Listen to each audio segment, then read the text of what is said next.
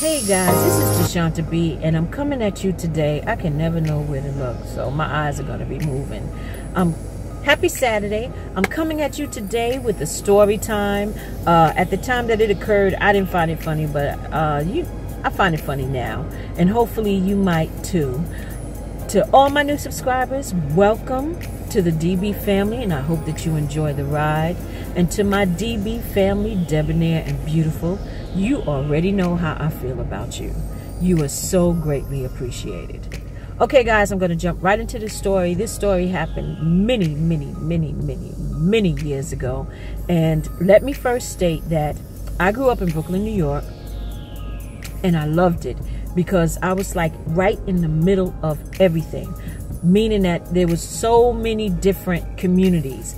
You had your 15 minutes one way, you had your Latino community, you had your Jamaican community, your Trinidad community, your Jewish community, you had, I mean, your Indian community. It was like a melting pot. And I loved it because although we're all different, we're still the same. And I loved the differences. I love being able to just walk 15 or 20 minutes in one way and be in a completely different community. It was like it was a different world. So, by me saying that, this particular friend of mine, his family was from Trinidad. And so that you don't come at me, disclaimer, I am not making fun of anyone. I'm just trying to tell you the story exactly the way that it happened. And if I don't get the dialect right, don't come at my throat, okay? But um, I'm going to give it a try. So, guys, you already know I've always worked two and three jobs. So, my friend gave me a call and he was like, Look, he always called me Yankee. I don't know why he would do that. It would get on my everlasting nerve, nerve but that's what he did. He was like, Listen, Yankee, listen, my grandmother is, you know, having a dinner. I want you to come. You're always working. You don't take no time out. You don't take no time out. So I said, You know what? Lucky for you, I am home tonight. I said, and I am hungry. Okay, bet. I'll go to the dinner with you. So, get to his grandmother's house. I had left my car by his house and we rode in his car. So we get to his grandmother's house. He said it was a small dinner, just a little get together. Okay, it was about 30, 40 people there. Lie number one.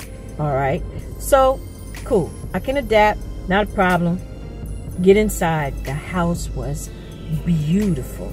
The table spread was beautiful. In her formal dining room, I kid you not. If that woman did all that cooking, wow. And she had such a table spread. Now, let me tell you, what I know about island cooking, and I'm going to group them all together. I know curry goat, curry chicken, um, beef patty with cocoa bread, cocoa bread with the cheese, um, roti, and doubles, uh, callaloo, akri, pilau. Just that's basically that's all that I know. Okay, so get to his grandmother's house. She has all of these different foods on the table that a lot of them I didn't know what they was, but I saw the rice and peas or peas and rice, however you want to say it. And I was like, okay, I'm gonna just feast on that for the night because I really, with all the allergies that I have, I really don't know, you know, what to eat.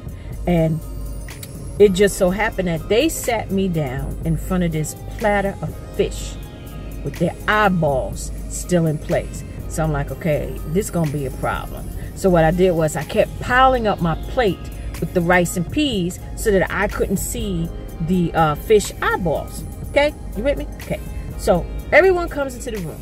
Now, when it's one or two of the um, Jamaicans or Trinidadians together and they speak slowly, I can understand what you're saying.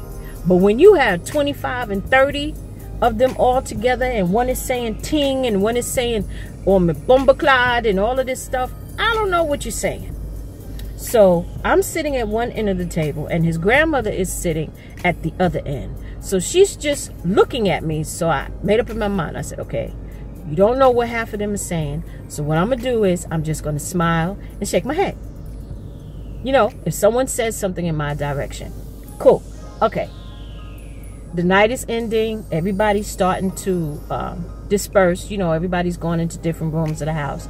And I noticed that his grandmother is just staring at me. I mean, she is mean mugging me like, So I'm like, uh, okay, what did I say? What did I do that I don't know that I did or I don't know that I said that has this woman staring at me like this?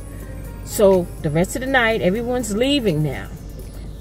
They go and they hug her and she hugs them back and they kiss and all this stuff. So it's my friend's time and my time to leave. So go up to his grandmother and she hugs and she kisses him. So I go to hug her and she goes, huh. So I'm like, whoa, what did I do? Now, mind you, the whole night I'm just sitting at the dining room table. I'm not, no one's engaging in a conversation with me, okay? So we get into his car, and normally he's like Mr. Chatterbox. He's always, you know, D this and D that and Yankee, Yankee, Yankee. So he's quiet. So I'm like, wow, whatever it is that I did, maybe, you know, I ate too much peas and rice. I don't know what the story is. I just know that she is pissed to festivity with me. I'm like, maybe she don't like me because I'm not from Trinidad. I, I didn't know. All of these ideas is going through my head. So, at the third light, he says, Yankee, why you say that to me grandmother? So I'm like, what? Why did I say what? Listen, my grandmother took me in the kitchen and she told me, she said, you bring that woman here and that woman tell me to my face that she a prostitute. So I said, what? So I didn't want to laugh at the time when he said prostitute and he said grandmother. But at this point, I'm like, whoa, wait a minute. What are you talking about? So he said, my grandmother said she asked you three times. Do you work at night? You work at night. You're the lady of the night. Are you the lady of the night? So I said, I thought she was asking me, did I have a job at night?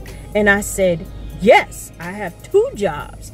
So he said, oh, oh, Yankee, it's a big misunderstanding. Oh, my goodness. Oh, my grandmother got it wrong. I was like, yeah, she got it wrong. Yes, she did. So at this point, I'm getting heated now. Okay. So I'm thinking, and I said, you know what? Stop the car. He was like, what, what, what, Yankee, what, Yankee? I said, turn this car around. We're going back to your grandmother's house. He's like, no, no. She put up for the night. She have on a nightgown. She going to rest. No, she did a lot of cooking. I said, well, she going to put up, down, across, or whatever because we're going back because I take my integrity and who I am very seriously. And we're going to go back so we get this straightened out. I said, I'm not going to be able to sleep. So he said, no, Yankee, we go tomorrow. I said, okay, I tell you what. You drop me off by my car. I'm going to drive back because I know where your grandmother lives. I said, you don't understand. From the type of family that I'm from, we take our personalities and family and all of that very seriously. So he said, okay, okay, okay. So we drive back to the grandmother's house. So he's on the top step and I'm on the side of her house. Rings the doorbell. She comes out. She goes, eh, eh, eh, Sonny, what happened? What happened? And she gives him a kiss. And then she turns and she sees me and she goes, hmm. So I was like, I'm sorry to come back. He said, no, no, no, let, let me talk to her. Let me talk to her. Let me tell her. Let me tell her. Let me tell her. So, like I said, when it's one or two talking and it's very slow, I can understand what you're saying, especially if your dialect, your your accent is really thick. So he, you know, he's explaining it to her. So finally, she looks at me and she goes, well, me guess me could be wrong. But me know you're not no prostitute. Because you don't have no body. You don't have no breast. You don't have no backside. No in your all face. No man gonna pay for face. No man just to pay for a pretty face. That's all he is, a face, a face. So I'm like, uh, is that an apology? Is that, you know, we un I understand? Then she goes, didn't me go on my room, me check my jewelry. Me know you're not no thief, no? So, at this point, I'm like, this woman got one more time to insult me. Then she goes, didn't me know me walk past you, me know you clean, you smell good. No prostitute look and, and do all those things, you know? So I'm like, uh, look, look here. So he goes, uh, we about to leave. We're gonna go because you know, me know you wanna lay down. Me, me sorry, me should have called first. So she's like, no, it's okay, it's okay. So she said, listen, she said, in three weeks, me gonna have cook up. Me want you to come. It's for my daughter's birthday. Me gonna teach you how to cook rice and peas since that's all you eat. You don't like my food or the food me have on the table. So I'm like, um, no, it's not that. It's just that I have. She said, me don't want to hear it. Sure, man. Listen, you come back. We're going to teach you how to make peas and rice. Rice and peas and some party, okay? Listen, me going now. Me tired. Next time you call before you come, okay? Especially this late. Lord have mercy. Me going. So, we get back in this car. And I'm heated. I'm like, this woman insulted me from A to Z and back from Z to A. So I'm like, okay. So I get in my car and I drive all the way back to where I live. And he's calling me. All week long, he's calling me. And I'm not answering him. And he's leaving messages. My grandmother said she want to see you. She going to teach you how to make cook up. And when I finally saw him, I was like, look, you know what? With all due respect, you and your grandmother can, you know, that's what y'all can do because I really, really don't have any words for the both of you. So, guys, I finally saw her maybe like a couple of months later, and she came up to me and she gave me a hug. We was out in the street. And I guess that was her way of saying that, you know, the situation got out of hand. But what I learned from that, guys, is when you go out to dinner and the people that you're around don't speak exactly the same language that you do, take an interpreter. Take someone that can tell you what they saying about you before it gets out of hand. All right, take some chalkboard, right? You know, get one of them etch sketches and, and write down, you know, look, I am not a prostitute, you know, but it wasn't funny then, but it's funny to me now. She has crossed over and, hey guys, my camera cut off again. But um, let me fix this because, yes, I can see behind me while I'm talking to you. Guys, um, I later found out why she asked me those questions because his girlfriend that he had, she, you know, was questionable. You know, I guess the way that she carried herself and the way she acted around his family. She just was like, uh-uh, I'm going to ask everyone that he brings in here. And I saw her later on in the street and she gave me a big tight hug and she was like, I still want to show you how to make patty and stuff. But she's crossed over now and I'm quite sure uh, she probably thought about it and laughed about it too. But guys, you know, I just want to say to all of the uh, differences that we have, I love them all. My Latino community, my Indian community, my uh, Jewish community, all of all of you that have taken the time to watch Deshanta B's videos. I just want to say thank you and that I love you all because I love the differences. I just wish that the rest of the world did and we would be okay. So on that note, guys, I just want to say this to you. I have to do my Facebook uh, spiel. Uh, subscribe, like, and share this video. Give it a thumbs up if you like it. If you like the story times, let me know in the comment section or you could write to me um, to my P.O. box and I will definitely respond. Hopefully soon, guys, as soon as I can get this internet and my camera situation together, I can get back to having a regular schedule with my videos.